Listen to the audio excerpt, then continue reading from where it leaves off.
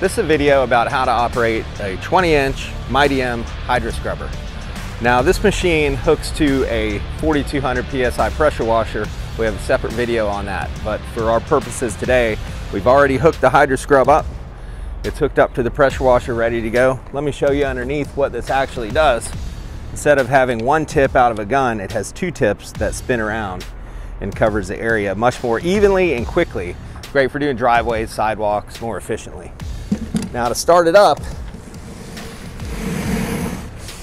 we're gonna turn our switch on the Honda engine here, pull the choke. I like to squeeze the trigger of the Hydro Scrub while I start the engine.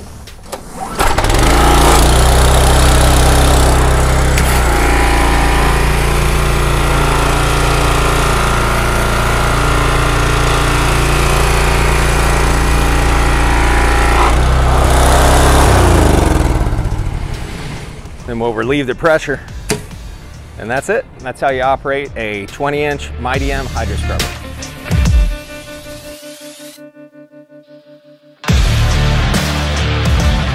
Northside Tool Rental. Get it right the first time.